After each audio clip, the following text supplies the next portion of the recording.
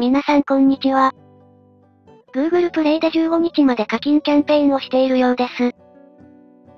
はい、100円使うたびに4ポイントの付与があります。また、150ポイント貯めれば、300円クーポンと交換できるのでお得ですね。課金期間が15日までなので、課金する予定の方はお早めに。ご視聴ありがとうございました。さようなら。